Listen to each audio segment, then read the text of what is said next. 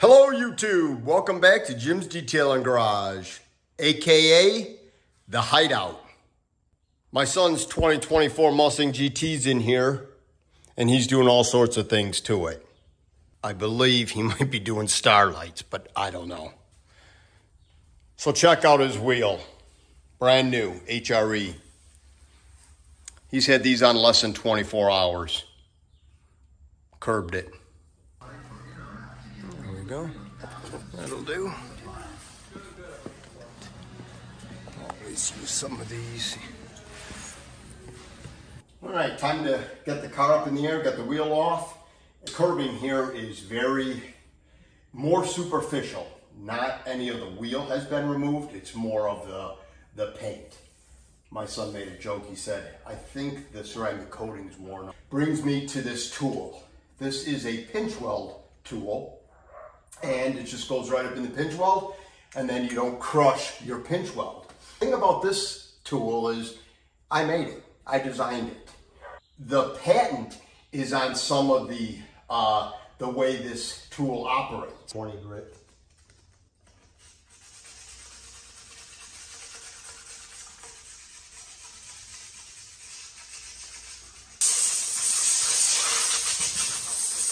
to this side.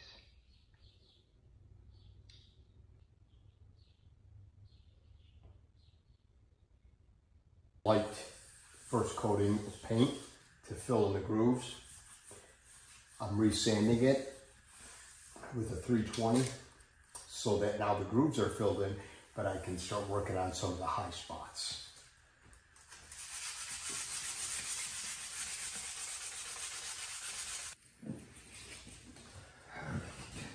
Wheels looking a lot better. It's two coats of paint.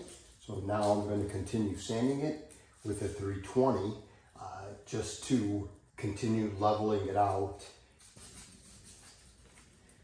We'll put a new one on. I know we will, but we go.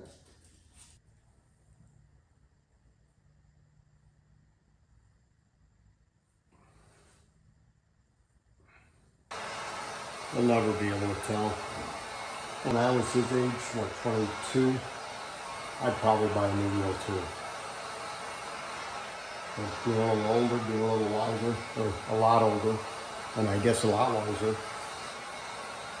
I'd save my 500 bucks and uh, be happy with this. But, all right.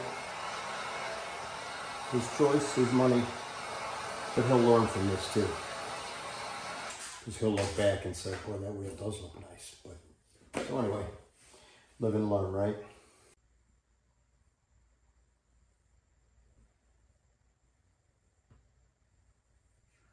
Well, here's the after, everybody.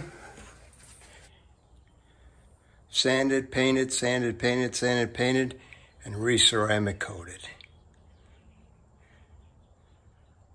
Boom. All that third coat of paint's drying on the wheel wanted to share a little bit more about this. So the patent isn't on the contact point where the tool meets the pinch weld. It's on the um, mechanical portion of this. So number one, this obviously spins. Number two, the base is designed for um, jack stands to lock in. So that way or this way. Um, so it, it, it was uh, it, it, was a very cool item to, to make and design and it was fun. And these are some of the pictures um, of the process. So I thought that one was cool. And then here's the engineer's shop. And then just some of the CAD drawings that uh, he developed, the engineer. And then uh, some of the legal paperwork uh, to the United States. Uh, but anyway, I even ordered and, and bought the steel myself, looked at what type of steel I wanted and strength of the steel. So anyway, I hope you enjoyed that little, uh, little bit at the end.